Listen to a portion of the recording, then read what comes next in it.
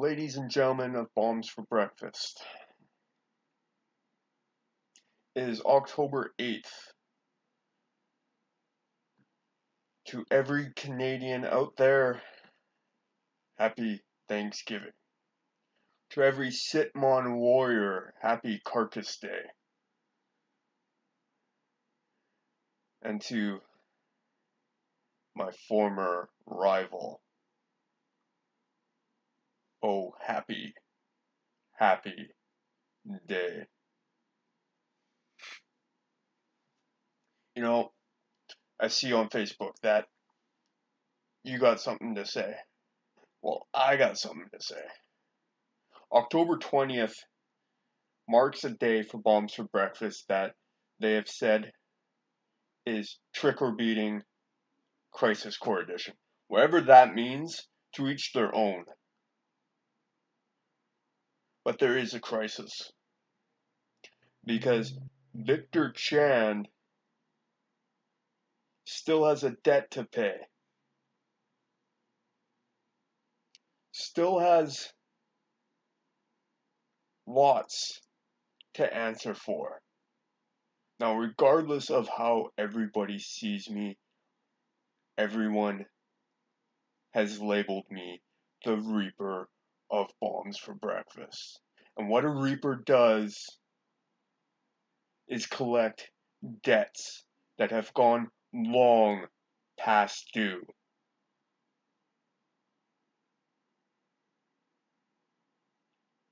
I said for a very long time, fucks will be given.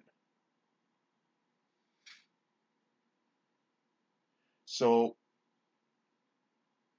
long story short, seeing how there's a lot of end of eras, last time ever kind of ordeal. You and I, Victor, have been through everything. We've made each other ch- tap finally after how many years?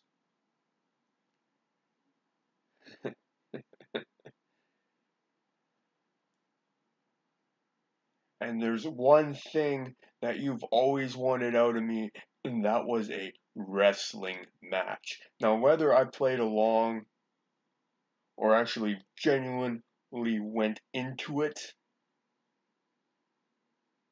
we never got our wrestling match.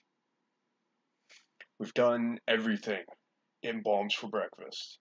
We've even combined some of the best matches that we've seen in professional wrestling to date to put our bodies through. We are the hybrid innovators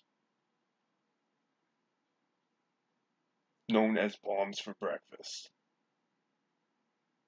And yes, I class we because after I beat you around this time, what was it, two, three, four years ago, to make you an active member of Bombs for Breakfast just for you to drop out for a bit, come back when you felt like it. See, all these debts that you've accumulated over time I'm the one that has actually stepped out of the crowd and it's going to start cashing them in.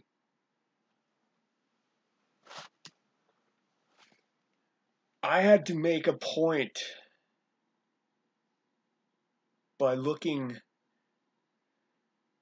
at your family members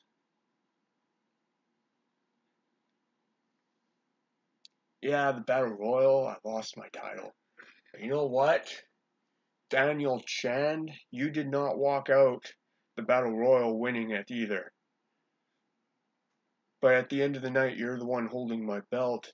And let me just say, and say it again, when I am done with this debt, I'm cashing in another one. Victor, you and I, we we're banging our heads against the wall.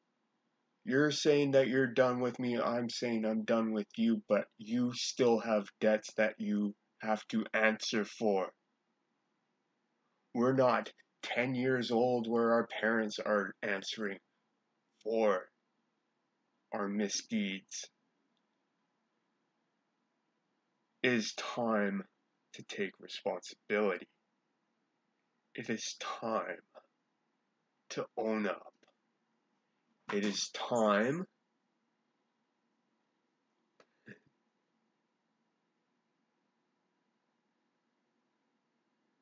to end it.